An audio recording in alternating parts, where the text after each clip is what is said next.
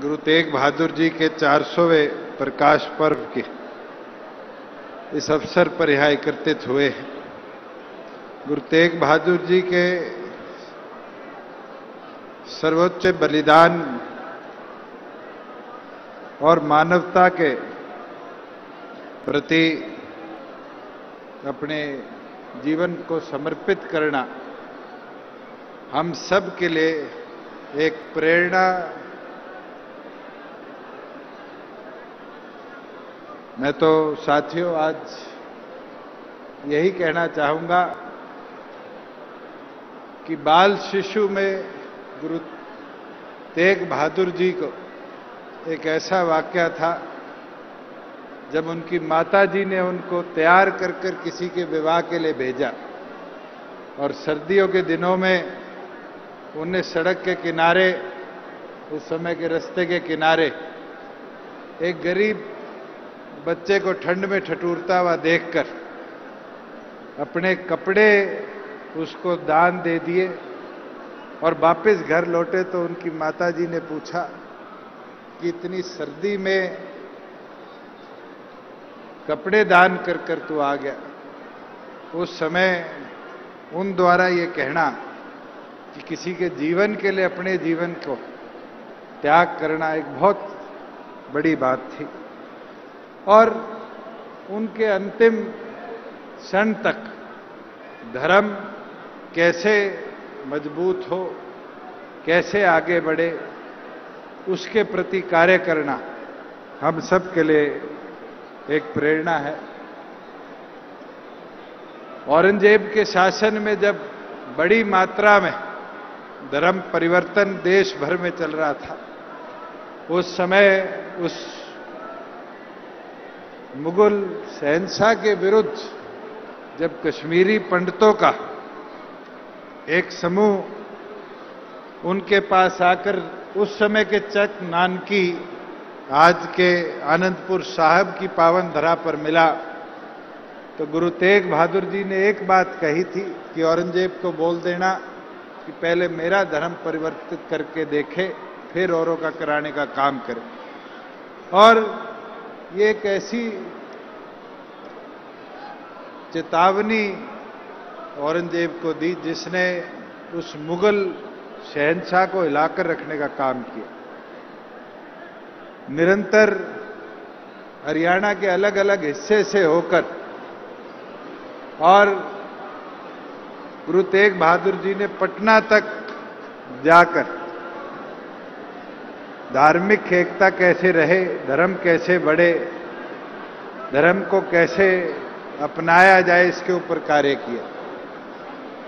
और जब 1965 के अंदर पहली बार उनको दमतान साहब से मुगल सल्तनत के लोगों ने गिरफ़्तार किया, उस समय से लेकर अंत तक भी उनने यही लड़ाई लड़ी कि धर्म परिवर्तन को रोका जाए, धर्म के खिलाफ जो कदम उठाए जा रहे हैं, उसके विरुद्ध लड़ाई लड़ी जाए। और कैसे गुरु के वाणी को आगे बढ़ाया जाए। साथियों, मैं तो इतना बोल सकता हूँ कि जिस समय दिल्ली के चांदनी चौक के अंदर गुरु तेग बहादुर जी के तीन साथियों को, भाई सतीदास, भाई मतीदास और भाई दयाला जी को, उनके सामने अलग अलग प्रकार से शहीद किया गया। उस समय भी गुरु तेग बहादुर जी ने एक बार भी औरंगज़ेब की सल्तनत के आगे ये एहसास नहीं होने दिया। और जब उनका भी शीश धड़ से अलग किया गया तो उस समय जब उनके साथियों ने उनकी पार्थिव शरीर को ले जाकर हरियाणा के ही, सोनीपत के ही एक गाँव में लाने का काम किया। साथियों गुरु तेग बहादुर जी के पार्थिव शरीर को जब मुगल सल्तनत ने वापस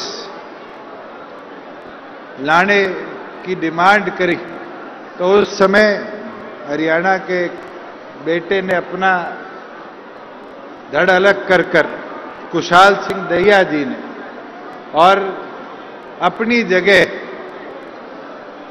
गुरु तेग बहादुर जी को मुगल सल्तनत के आगे पेश करवाने का काम किया और आज उस सोनीपत की पावन धरा पर बड खालसा के नाम से वो स्थान पूजा भी जाता है। मैं तो इस पावन अवसर पर जो उनकी कुर्बानी है, जो एक मिसाल हम सब के लिए हम सबको मिलकर उनको नमन भी उनको प्रेरणा भी अपने जीवन में बनानी चाहिए। मैं तो अंत में इतना ही बोलना चाहूँगा कि पाँच पीढ़ियों का बलिदान गुरु अर्जन देव जी से लेकर हम आगे बाबा जुजार सिंह, जोरावर सिंह के प्रति देखते हैं। और मैं ये मानता हूँ, जिस परिवार के पाँच पीढ़ियों ने बलिदान देकर धर्म को कैसे ज़िंदा रखा जाए कदम उठाया है। हम सब के लिए वो प्रेरणा है। अंत में आप सब यहाँ आए। आज इस 400वें प्रकाश पर्व में आपने आकर, सारी सात संगत ने आकर, गुरु तेग बहादुर जी के प्रति अपने समर्पण को दिखाया, मैं आपका आभारी हूँ। दोबारा वाहे गुरु जी का खालसा। वाहे गुरु जी